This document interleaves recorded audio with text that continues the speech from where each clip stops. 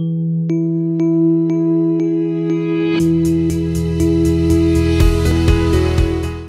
to twelve percent of all cancers are genetic in origin, and it's to our benefit to identify patients at risk for the development of cancer before they even develop cancer.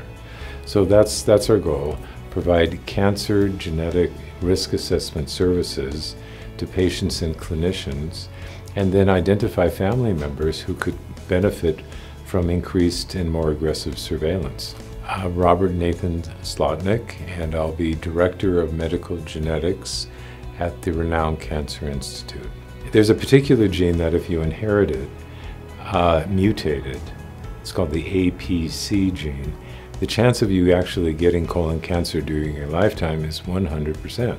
It would be beneficial to patients who we know have this particular gene to create a therapeutic choice, changing the DNA in the colon so that colon cancer can be addressed as a, uh, a treatable disease by making DNA changes. And the goal of that would be to try to create a, uh, a means by which those cells can be treated in situ. You don't, not every patient uh, at risk for colon cancer will need to have a colectomy.